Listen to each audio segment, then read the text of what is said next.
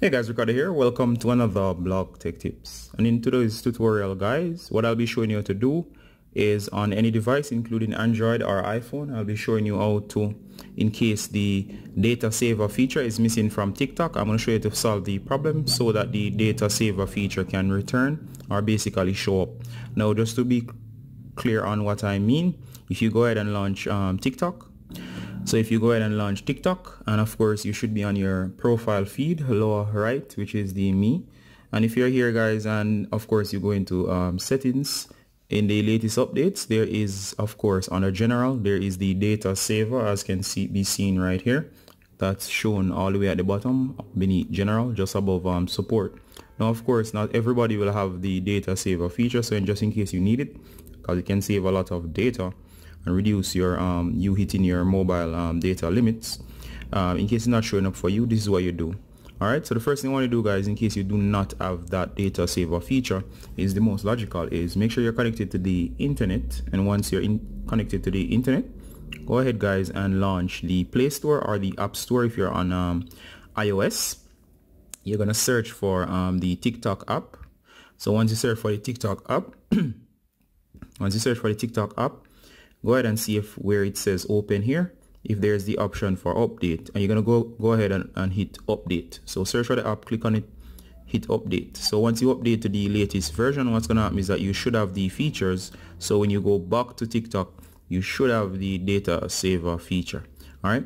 Now if that didn't work guys go ahead and also um, reboot your phone. So hold down um, power depending on what um, operating system you are uh, using it should be slightly different go ahead and restart or do a power off.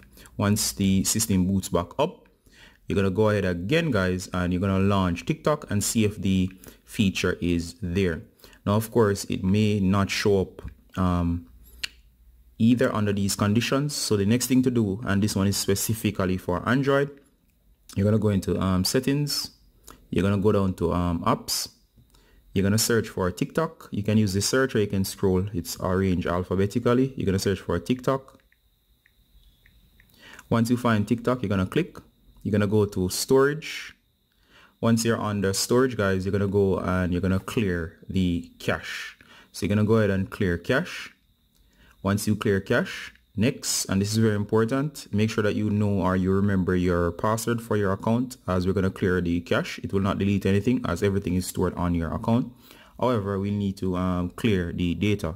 So you're going to simply go ahead and click. Then you're going to confirm the clearing of the data. And of course, once you do that, you're going to be logged out of your account. Now, of course, I'm not going to do it on mine. And of course, once you go back, you're going to tap.